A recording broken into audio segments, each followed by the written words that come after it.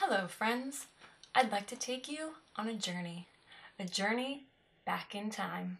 The year 2020. Oh, wait! Hold on for a second. It is peak pandemic. Everyone is in quarantine. They are stuck in the house. And what are people doing? They are getting their craft on. Some people are sewing. Some people are making bread for the first time. Other people making babies. Just kidding. But not just kidding. There have been a lot of babies. Anyway, everyone is stuck at home. And what is your girl doing? She's working.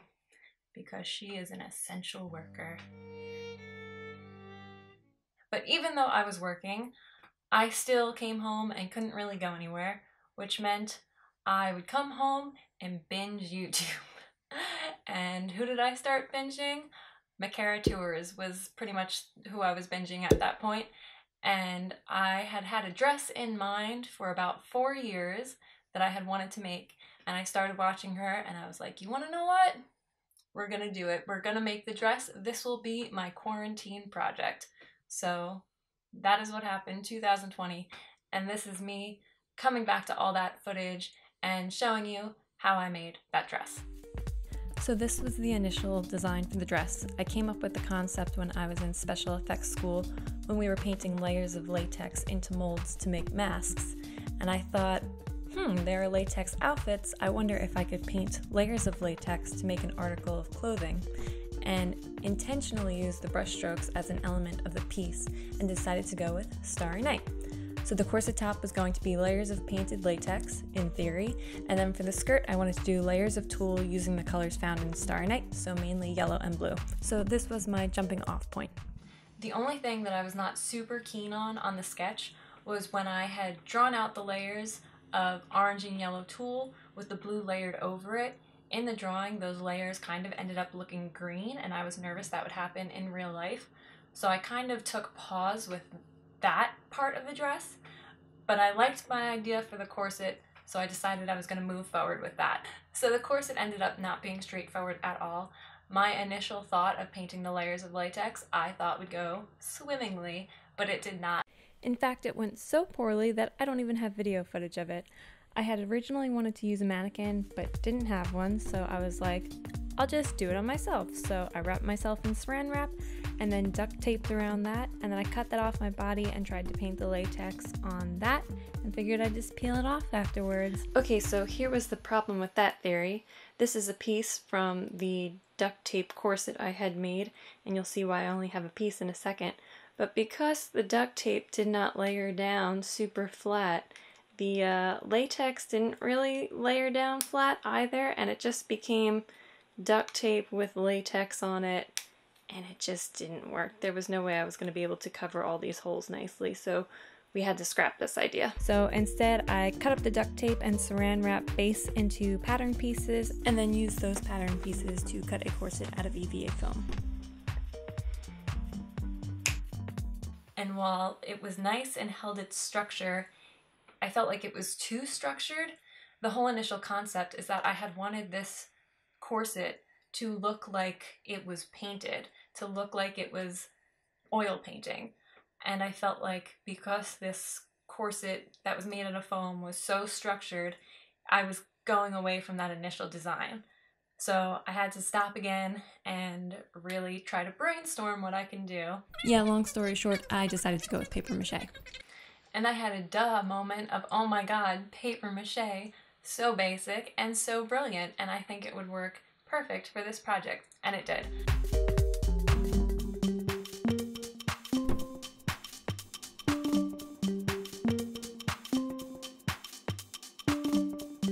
I made sure I left the back open so I could get out, and because I knew I was going to corset it anyway, it didn't have to come all the way wrapped around in the back. So once that was dry, peeled it off, and we had our base for the corset. And then on top of that, I just put layers of Mod Podge, Mod Podge, Mod Podge, I can never say it. I put layers of that to kind of give me more of that brushstroke. It didn't work out as well as I had wanted, and I do think overall the corset top is not quite as like painterly and three-dimensional as I wanted, but it was much more in the direction than my previous attempts. So once I had my corset base, before I decided to actually start painting on the corset, I went into Photoshop and laid out the Starry Night painting onto a corset shape so I had an idea of exactly where I wanted the main elements of Starry Night to appear on the corset, and once I had a good idea of how I wanted it to look, I began my work on the actual corset. So I first just laid it out in marker and then I put down base colors for painting and then I went in and tediously painted hand by hand every brushstroke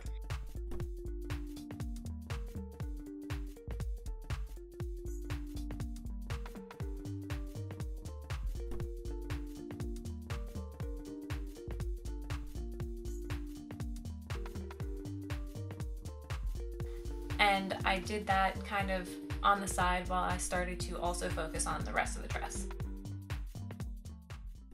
So like I said, initially I had envisioned the tulle ball gown puffy skirt and I had wanted in my mind layers of yellow and orange tulle with blue layered over it. But because it had come out like such this muddy color in the sketch I was nervous about that. So I started to think of other things I could do for the bottom of the dress and I don't know what caused it. I think it was just while I was painting on the corset and doing the millions and millions of tiny little lines, um, I had this thought that wouldn't it be cool if I could somehow make the bottom of the dress mimic brush stroke? So I had this vision of layers of strips of fabric that were all in the colors of Starry Night and all laid out to make a long flowing skirt. That was the new vision I came up with and I just figured I'd cut strips of fabric and lay them all out. And I was torn between these two visions, and I didn't know exactly what I wanted because I had, when I had initially thought of this dress four years ago, I had thought of the tulle skirt. And then seeing the sketch, I was not sold on it, and now I had this new vision in my head, and I didn't know what to do. So, of course, I went to my trusty friend Photoshop. So as you can see, I tried first doing a version of the dress with just a yellow skirt, and then I wanted to see how it looked with a blue skirt because I still wasn't sold on the idea of layering the yellow and blue. And then I tried combining both skirt ideas and did an overskirt that had the strips of fabric like I wanted, and I was really liking the way that looked, but I still wasn't sure between the yellow and the blue. So I actually posted these on my Instagram and got people to vote on which one they liked better, and the vote was split 50-50. So I went back in and I did do a yellow and blue combined skirt, and I really liked the way this looked. So this is the design I ended up on. So since in-person me talks too much, here's voiceover me to say I got this sunflower yellow tulle, this cobalt blue tulle, and that was going to be it for the tulle. but then I came across this glitter ivory tulle, and I couldn't leave it, so I got that as well. And then for the overskirt, I got this holey blue fabric, which will make sense later. Then the last thing I got at that fabric store was not traditional fabric, but it was the elastic that I ended up using for the waistband of the skirt. So now that I had all my fabric for the tulle layer of the skirt, I started making that and the process was super easy. So I started with the piece of elastic I had bought and just measured it and cut it to size. Then I made a makeshift mannequin using my light stand and some Tupperware, and Tupperware is actually not mine. Sorry, Andrew, I still haven't given that back to you. I ended up actually looking up YouTube tutorials to figure out how to make this skirt, and I will link below the one that was the most helpful. But the process is super easy and hopefully you can see what I'm doing in the footage. But just to explain, I'm taking the tulle, I'm weaving it over the waistband so that half of the length of the tulle falls behind the waistband and half of the length of the tulle falls in front of the waistband. So basically, for each piece I'm attaching to the waistband, I'm getting a layer behind it and a layer in front of it, which is nice for two reasons because it means one, there's less cutting I have to do, and two, it's building up the volume of the skirt twice as fast. So once I put the tulle over the waistband and make sure it is the right length both on the inside of the skirt and the outside of the skirt, I cut it to that length and then I just pinned it in place on the waistband And I went around the entire skirt doing that for the first yellow layer. So once my yellow layer was done and I had the volume and the length I wanted all the way around, I did make it a little bit longer in the back so it had a bit of a train. Um, I moved on to the blue layer. So the blue layer was a little bit different. I knew I wanted strategic spots where there would be more blue showing, so I wanted to make those spots have more tulle, and then I just wanted a general blue layer all across it. So for the spots where I specifically wanted moments of intense blue tulle, I did pretty much the same process of I figured out what length I wanted, folded the tulle in half so it was twice the thickness at that length, but rather than looping it over the waistband and having half in front and half in back, I just pinned it to the front of the waistband in half. So I had twice as much volume and blue depth. Then after that, I decided this would be the perfect place to put the sparkly tulle so it would be visible and it would kind of dull the blue and yellow so it wasn't so vibrant. So I just did a thin layer of that, just one layer, just pinning around the top and cutting it to length. And then after that layer, I did the final blue layer and then the skirt was almost done. so once I had all my layers pinned in place, it was time to sew. And like I said, I do not have a sewing machine, so I just hand stitched it. Probably not the best method, but you work with what you got. So I ended up doing a zigzag pattern of sewing. That way the elastic band would still have its elasticity and it seemed to work. it's still together.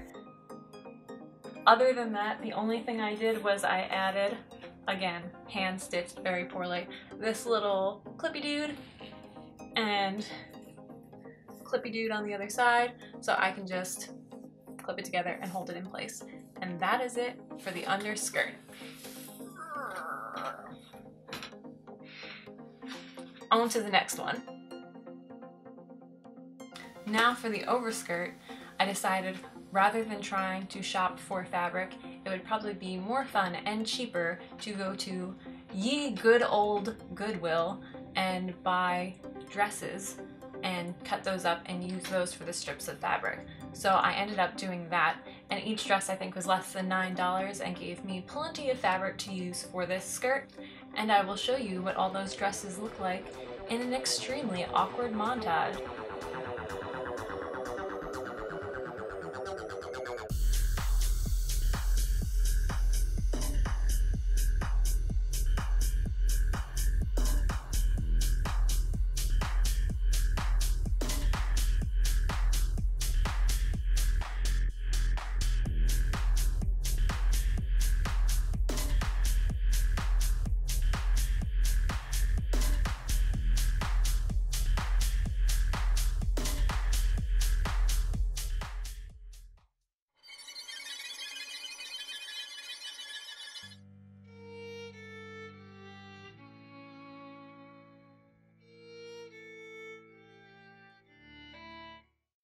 So I cut my fabric into 1 inch by 12 inch strips, then I laid out the blue whole fabric and I took those strips, folded them in half, fed the loop end of those strips into one of the holes in my fabric, took the tails from that strip and looped it through the loop of that strip and that was it. I then had a tie that was attached to the blue fabric and I just repeated that over and over. So this is the final skirt. After much cutting and knotting, this is what I ended up with. As you can see, the whole fabric is there, but that gets tucked up under the corset so you do not see it. And I just laced a piece of a strip of fabric through it to tie around my waist to hold it in place. And then it gets tucked up under the corset so you don't even see it. And all you see is the many ties that kind of mimic the brush strokes. The only thing that changed in the process is that mustard skirt I realized was not really fitting with the rest of the dress. All the colors were more vibrant and that just kind of toned it down and it really stood out. So I ended up replacing that mustard skirt with yellow ribbon and I think that color actually ended up working a lot better in the final dress. The last thing that I did is once I figured out what my circumference around my waist was and put all these together, it was holding in place and wasn't allowing the skirt to fully puff out. So I just cut, I don't know if you can tell, I just cut strips in the blue fabric so that they kind of came down two points and it allowed it to flare out over the skirt.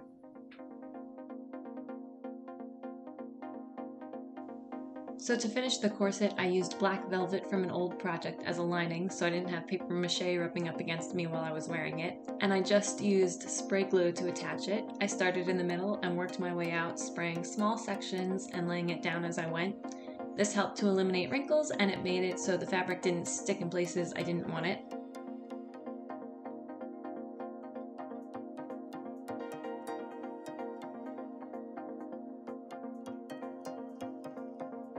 And any pieces that were extra I just trimmed off so from the outside you cannot see it.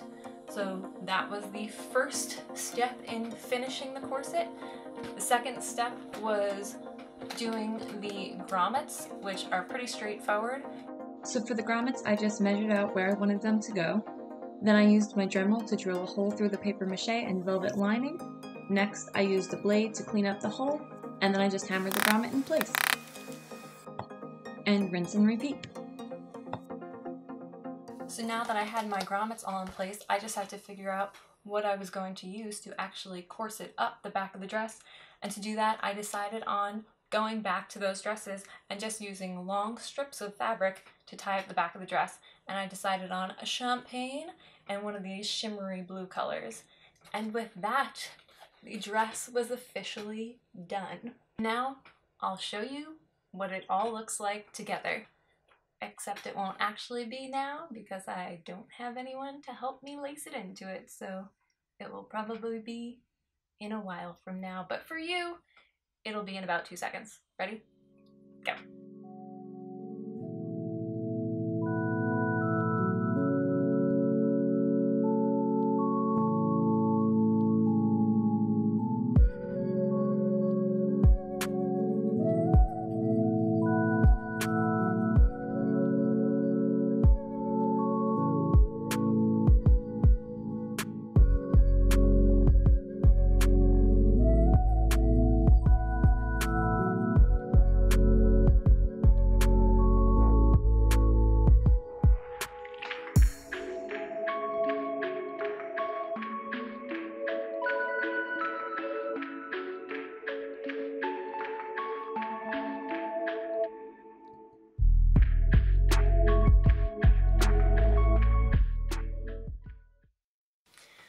That is it.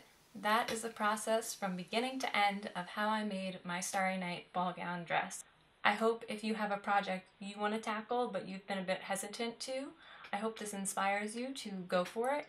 And if it doesn't work out, you learn something and you can start again. And lastly, if you use any of the techniques that I used in this video for any projects of your own, please tag me in them because I would love to see what you create and I will put my Instagram here and I will also put it down in the description if you want to follow and see what else I do or you want to show me any of the artwork you create. Thank you so much for watching my video and I will see you in the next one. Bye! The only thing I was not super keen on the sketch said my thought process for the underskirt overskirt it goes over but this is what I decided to go with for the yellow under tulle and I got I want to say hold on what I was going to do for the bottom. Stop touching your face. Re-record. There we go. We good? Yep.